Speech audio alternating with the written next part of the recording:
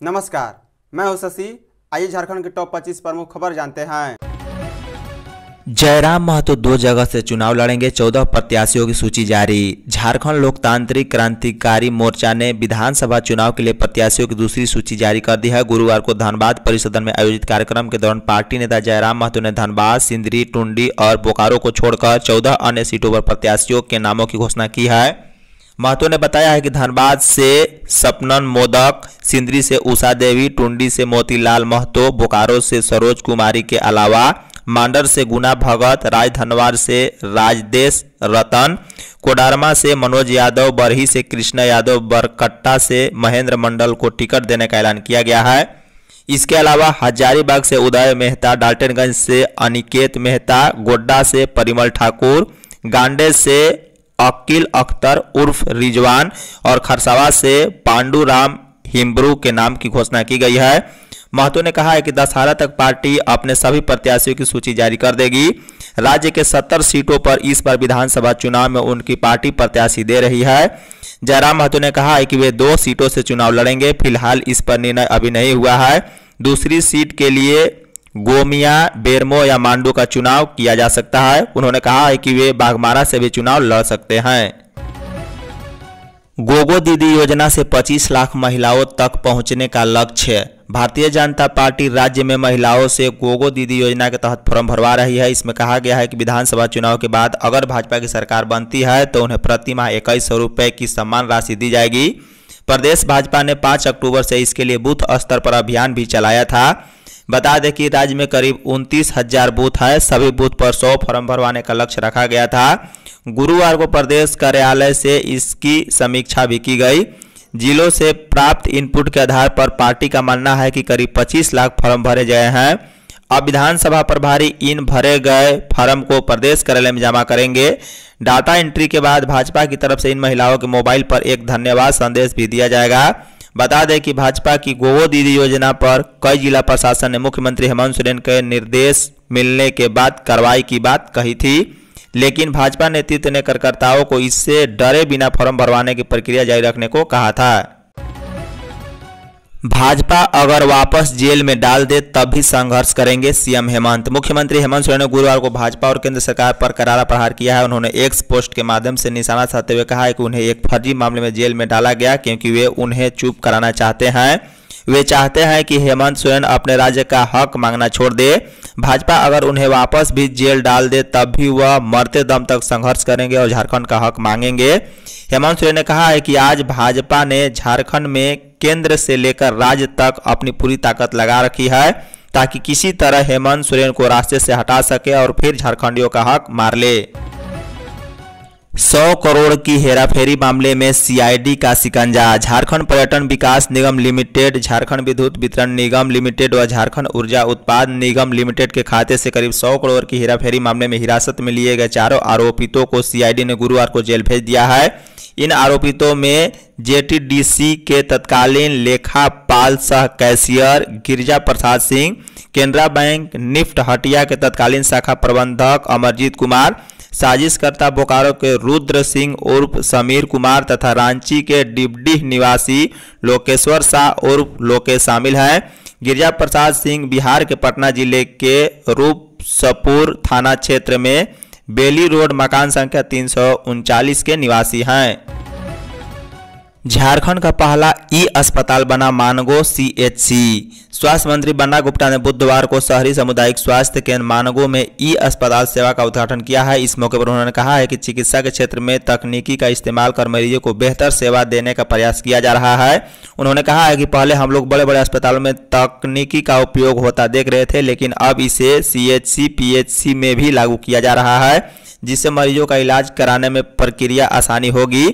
स्वास्थ्य मंत्री ने भी कहा है कि एक उच्च स्तर की तकनीकी विकसित की जा रही है, जिससे सीएचसी पीएचसी से लेकर सदर और मेडिकल कॉलेज के सभी चिकित्सक जुड़े रहेंगे।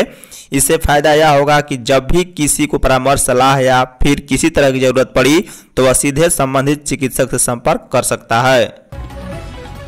कल्पना सोरेन ने माँ दुर्गे से बीजेपी नेता को सद्बुद्धि देने की प्रार्थना की। झामुमो नेता और गांडे विधायक कल्पना सोरेन ने बीजेपी अध्यक्ष बाबूलाल मांडी के बयान पर कड़ी प्रतिक्रिया दी है। कल्पना सोरेन ने बाबूलाल मांडी पर निशाना साधते हुए कहा है कि वह हेमंत सोरेन की पत्नी के साथ गांडे की महान जनता की प्रतिनिधित्व करती है। कल्पना यही नहीं, रुकी, बल्कि बाबूलाल मांडी को सोच सुधारने की नसीहत दे डाली है। दरअसल बाबूलाल मांडी ने हेमंत सोरेन पर निशाना साधा और कल्पना सोरेन का बिना नाम लिए उन्हें हेमंत की पत्नी का संज्ञा दी है। इससे खफा होकर कल्पना सोरेन ने कहा है कि मेरा नाम कल्पना सोरेन है। कल्पना ने अपना परिचय देते हुए कहा है कि मैं हेमंत सोरेन की पत्नी होने के साथ गांडे की विधायक हूँ। कल्पना ने कहा है कि राजनीति में आने से पहले वह टीचर थी। वह राजनीति में आना नहीं चाहती थी, लेकिन बीजेपी के कारण ही मजबूरी में राजनीति में आना पड़ा है। कल्पना ने कहा है कि एक तरफ़ पूरे देश नवरात्रि में नारी शक्ति स्वरूपा माँ दुर्गा की पूजा और आराधना कर रही है। वहीं दूसरी ओर आप नारी को अपमानित कर रहे हैं। झारखंड में हर माह 11 को मनाया जाएगा परिवार कल्याण दिवस। राज्य भर में अब हर माह 11 तारीख को परिवार कल्याण दिवस का आयोजन किया जाएगा। यदि 11 तारीख को अवकाश होता है तो इससे एक दिन पहले या एक दिन बाद आयोजन किया जाएगा। लेकिन हर माह परिवार कल्याण दिवस का आयोजन ज़रूर किया जाएगा। इसके तहत राज्य के सभी रेफरल अस्पताल, सामुदायिक स्वास्थ्य केंद्र, प्राथमिक स्वास्थ्य केंद्र, आयुष्मान, आरोग्य मंदिर एवं सभी शहरी स्वास्थ्य केंद्र के द्वारा आरोग्य शिविर लगाए जाएँगे। जिसमें परिवार नियोजन की विधियों की उपलब्धता के साथ साथ परिवार नियोजन, परामर्श एवं जागरूकता कार्यक्रम आयोजित किए जाएँगे।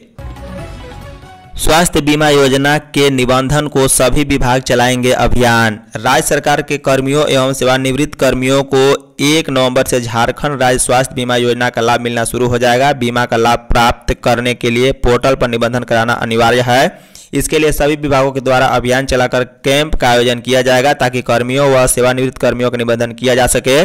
स्वास्थ्य विभाग के प्रधान सचिव अजय कुमार सिंह ने सभी अपर मुख्य सचिव, पुलिस महानिदेशक, सभी प्रधान सचिव, सभी विभागाध्यक्ष, सभी आयुक्त और उपायुक्तों को विस्तृत दिशा निर्देश भेजा है, जिसमें उन्होंने कहा है कि राज्य कर्मियों सेवानिवृत्त कर्मियों को स्वास्थ्य बीमा का लाभ दिया जाना है। इसके क्रियान्वयन के लिए 30 सितंबर को झारखंड स्टेट आरोग्य सोसाइटी एवं टाटा एआईजी इंश्योरेंस कंपनी के बीच एमओयू किया गया है। किसी भाजपा नेता ने राज्य का बकाया नहीं मांगा, सीएम हेमंत। मुख्यमंत्री हेमंत सोरेन ने एक्स पोस्ट के ज़रिए गुरुवार को भाजपा सांसदों पर सवाल दागा है। उन्होंने अपने पोस्ट में जनता से संवाद करते हुए पूछा है कि क्या कभी सोचा है कि किसी भाजपा नेता ने राज्यवासियों का बकाया एक पॉइंट तीन छह लाख करोड़ रुपए क्यों नहीं मांगा? झारखंड ने पिछले तीन लोकसभा चुनावों में बारह चौदह बारह चौदह, नौ चौदह सांसद भाजपा को जिताए हैं। फिर भी उन्होंने, हम झारखंडियों का हक क्यों नहीं मांगा? सीएम ने अपने पोस्ट में कहा, उन्हें एक फर्जी मामले में जेल में डाला गया क्योंकि वे उन्हें चुप कराना चाहते हैं। झारखंड बना महिला हॉकी का चैंपियन। जूनियर राष्ट्रीय महिला हॉकी चैंपियनशिप में मेजबान झारखंड ने चैंपियन बनकर राज्य के खेल प्रेमियों को दुर्गा पूजा का तोहफा दिया है। मोराबादी के स्टोटर्फ स्टेडियम में गुरुवार को खेले गए खिताबी मुकाबले में झारखंड ने पिछले चैंपियन मध्य प्रदेश को तीन एक से पराजित कर लगातार ग्यारहवीं बार कोई न कोई पदक अपनी झोली में डाल दिया है। वहीं हरियाणा ने उड़ीसा को दो एक से हराकर दूसरी बार कासे जीता है। बता दें 2018 से लगातार फाइनल खेल रही झारखंड टीम के लिए स्वीटी, डुगडुग शांति कुमारी और नीरू कुल्लू ने एक एक गोल किए हैं। सरकारी डॉक्टरों का आज से कार्य बहिष्कार। पाकुड़ में डॉक्टर से मारपीट के विरोध में राज्य भर के चिकित्सकों में रोष है। झांसा के चिकित्सकों ने दोषियों को गिरफ़्तार करने की मांग को लेकर शुक्रवार से कार्य बहिष्कार का ऐलान किया है।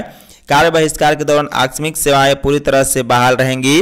झांसा के सचिव ठाकुर मृत्युंजय कुमार सिंह ने बताया कि पाकुड़ स्थित सदर अस्पताल में हाल के दिनों में डॉक्टर के साथ मारपीट की यह दूसरी घटना है। उन्होंने कहा है कि हमने पाकुड़ पुलिस से मारपीट के सभी आरोपियों की गिरफ्तारी की मांग की है। 12 अक्टूबर तक आरोपियों की गिरफ्तारी नहीं किया गया तो राज्य भर के सभी अस्पतालों के डॉक्टर 13 अक्टूबर से पूरी तरह से हड़ताल पर चले जाएँगे। झारखंड मौसम। रांची समेत झारखंड के कुछ हिस्सों में शुक्रवार को भी गरज के साथ बारिश होने के आसार है। राजधानी में सुबह के समय हल्के बादल छाए रहेंगे। हालाँकि दोपहर में कुछ देर के लिए मौसम साफ़ हो सकता है, लेकिन इसके बाद फिर हल्के बादल छाएँगे और आधे से एक घंटे ही कुछ जगहों पर छिटफुट बारिश होगी। वहीं गुरुवार को भी शहर में कुछ स्थानों पर हल्की बारिश हुई है। सर्वाधिक वर्षा रांची में 36.2 मिलीमीटर रिकॉर्ड की गई। मौसम विभाग के अनुसार राज्य में आ रही दक्षिण की नम हवा में ज़्यादा बदलाव नहीं हुआ है। इस हवा में बदलाव के बाद ही मौसम के ठीक होने की उम्मीद है। 12 अक्टूबर को खाड़ी के दक्षिणी भाग में एक साइक्लोनिक सर्कुलेशन बन रहा है। आने वाले समय में इसका असर झारखंड पर भी पड़ सकता है। मोरहाबादी में राम के बाँध से रावण का चूर होगा अहंकार। पंजाबी हिंदू बिरादरी की ओर से मोरहाबादी मैदान में दशहरा पर भव्य रावण दहन का कार्यक्रम होगा। दिल्ली के रावण दहन समारोह की तर्ज पर आयोजन होगा। रावण के पुतले की ऊंचाई 70 फीट, कुंभकर्ण की 65 फीट और मेघनाथ की ऊंचाई 60 फीट होगी। सोने की लंका भी आकर्षण होंगी। उद्घाटन सीएम हेमंत सोरेन करेंगे। केंद्रीय राज्य मंत्री संजय सेठ, विधायक सीपी सिंह भी उपस्थित रहेंगे। आयोजन की जानकारी देते हुए बिरादरी के अध्यक्ष सुधीर उग्गल और कुणाल आजमानी ने बताया है कि समारोह को भव्य रूप देने के लिए स्थानीय लोक कलाकारों के साथ साथ उत्तर प्रदेश के कलाकार को बुलाया गया है। ये जीवंत झांकी की प्रस्तुति देंगे। चतरा में टीपीसी उग्रवादी ढेर, चतरा पुलिस और टीपीसी उग्रवादी के बीच मुठभेड़ हुई है। यह घटना बुधवार की रात वशिष्ठ नगर जोरी थाना क्षेत्र के बॉर्डर पर स्थित गन्योत्री जंगल में हुई। यहाँ एसपी विकास पांडे को मिली गुप्त सूचना के आधार पर एसडीपीओ संदीप सुमन के नेतृत्व में सर्च अभियान पर निकली पुलिस टीम का सब जोनल कमांडर हरेंद्र गांझू दस्ते के साथ मुठभेड़ हुई है। इस मुठभेड़ में दोनों ओर से गोलीबारी हुई, जिसमें हरेंद्र गांझू और ईश्वरी गांझू नाम का दो उग्रवादी मारा गया है। साथ ही महेंद्र भोक्ता नाम का एक उग्रवादी गिरफ़्तार हुआ है। भाजपा के पंच प्रण से हताशा में है हेमंत बाबूलाल मरांडी। बीजेपी के प्रदेश अध्यक्ष बाबूलाल मरांडी ने कहा है कि राज्य की महिलाओं के बीच गोगो दीदी योजना की स्वीकार्यता को देखकर सीएम हेमंत सोरेन और विधायक कल्पना सोरेन बौखलाहट में हैं। हेमंत सोरेन गोगो दीदी योजना का दुष्प्रचार कर रहे हैं। सरकारी अधिकारियों के माध्यम से भाजपा कार्यकर्ताओं को डराने, धमकाने का प्रयास कर रहे हैं। भाजपा कार्यकर्ता हेमंत की गिदड़भकी से डरने वाले नहीं। उन्होंने ट्वीट कर कहा है कि पिछले पाँच सालों में जनता के साथ झूठा वादा करने वाले हेमंत को झारखंड की जनता करारा जवाब देगी। भाजपा के पंच प्रण की घोषणा से भी हेमंत सोरेन हताशा में है। झारखंड के युवाओं को नौकरी के लिए तरसने वाले, मौत के मुँह में सुलाने वाले हेमंत अपनी निश्चित हार देकर बौखला चुके हैं। फर्जी अकाउंट में डालने के लिए केंद्र सरकार नहीं देगी पैसा, बीजेपी। झारखंड भाजपा के प्रदेश प्रवक्ता अजय शाह ने मुख्यमंत्री हेमंत सोरेन द्वारा केंद्र से एक लाख छत्तीस हज़ार करोड़ रुपए की बकाया राशि मांगने पर प्रतिक्रिया दी है और कहा है कि मुख्यमंत्री राज्य को प्रभावी ढंग से चलाने में असफल रहे हैं। उनके पास कोई भी ऐसी योजना नहीं है जिन्हें उन्होंने पाँच साल पहले शुरू किया हो और जिसका लाभ अब राज्य की जनता को मिल रहा हो। वे केवल हाल के महीनों में जल्दीबाजी में लागू की गई योजनाओं के आधार पर वोट मांग रहे हैं। अपने कार्यकाल के अंतिम दिनों में अपनी विफलताओं का दोष केंद्र सरकार पर मरने की कोशिश कर रहे हैं। केंद्र से झारखंड को मिलने वाले फंड के बारे में कहा है कि केंद्र सरकार ने हमेशा झारखंड को उसकी मांग से अधिक वित्तीय सहायता दी है। नितिन गडकरी ने भी सार्वजनिक रूप से कहा था कि केंद्र सरकार झारखंड को धन देने के लिए तैयार है, लेकिन हेमंत सोरेन सरकार के अधिकारी सड़क बनाने के बजाय पैसे बनाने में अधिक दिलचस्पी ले रहे हैं। धन्यवाद।